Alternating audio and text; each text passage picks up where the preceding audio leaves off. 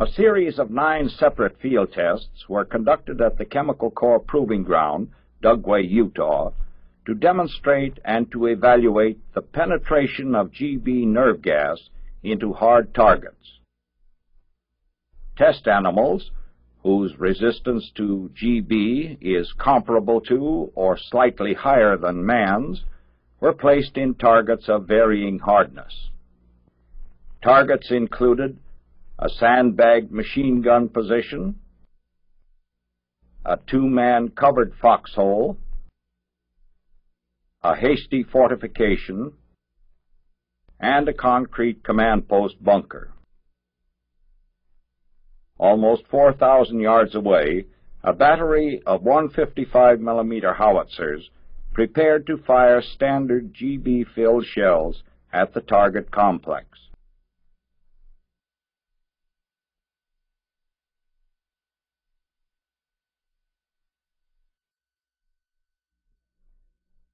On command, all six pieces were fired.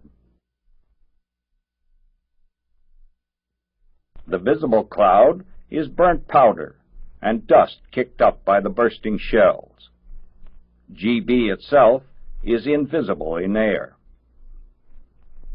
The howitzers were reloaded and fired as quickly as possible to put six more rounds on the target. Within 15 seconds, 75 pounds of GB had been dispersed.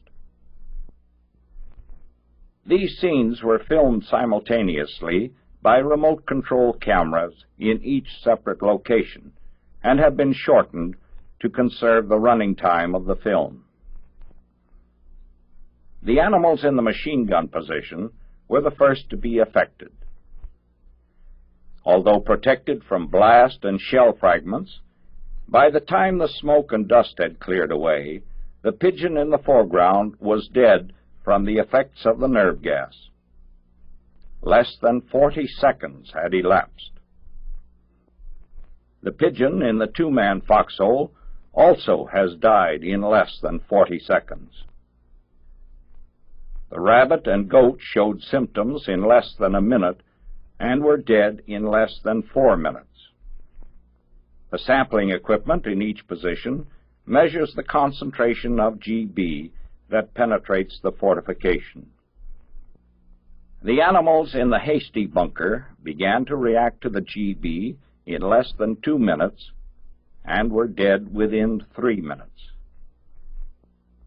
The goat in the machine gun position has now expired. It is less than three minutes since the shells landed.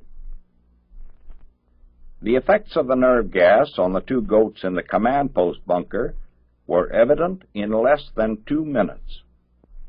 Fortified positions of this kind are so sturdy that anything less than direct hits with high explosive shells from medium artillery probably would fail to cause any casualties.